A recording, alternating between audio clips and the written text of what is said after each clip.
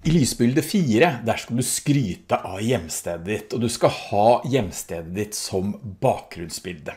Dette forutsetter at du har et bilde av hjemstedet ditt. Hvis du ikke har et bilde du har tatt selv, gå på internett. Jeg fant et i forhold til Halden på Wikipedia. Og så går du inn på utsiden av disse plassholderne. Jeg skal forresten gå inn her, og så skal jeg forandre oppsettet til titel og innhold her oppe på toppen så må jeg være på utsida av plassholderen, denne boksen her og denne boksen her, det kalles for plassholdere. Så klikker jeg på utsiden, og så høyreklikker jeg, og så velger jeg formater bakgrunn. Da får vi opp en menylinje her borte til høyre, som dere ser her borte. Her skal vi nå eh, dekke bakgrunnen. Bare for å vise hva som er mulig, så kan man da velge for eksempel en farge. Her får jeg gul bakgrunn. Vi kan ha gradert eh, fyll. Her kan vi velge forskjellige farger som vi graderer over i hverandre. Vi kan ha mønsterfyll, eh, og vi kan også skjule bakgrunnsgrafikk. Det er viktig å gjøre hvis du bruker eh, utformingstemaer i din presentasjon. Jeg skal nå velge bilde og tekstur, eh, og der går jeg og velger Sett inn.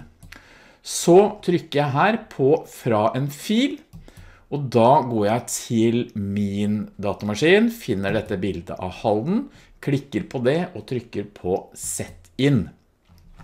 Nå får jeg opp dette som bakgrunn. Nå skal vi skrive på titelen på toppen, der skal du skrive navnet på byen din. For meg så blir det Halden. Og så skal du skrive inn fem fine ting om ditt hjemsted. Men som du ser på skjermen nå, så ble jo lesbarheten helt elendig, fordi at svart tekst mot grønn bakgrunn, det fungerte heller dårlig. Nå skal jeg vise deg hvordan du kan eh, gjøre denne bakgrunnen i en farge, i denne plassholderen, og så skal jeg vise hvordan du kan gjøre den gjennomsiktig etterpå. Først så klikker du på plassholderen, og jeg pleier akkurat å gå rundt på streken her, og så høyreklikker jeg, og så går jeg formater figur nest nederst på denne menyen som kommer opp trykker på den.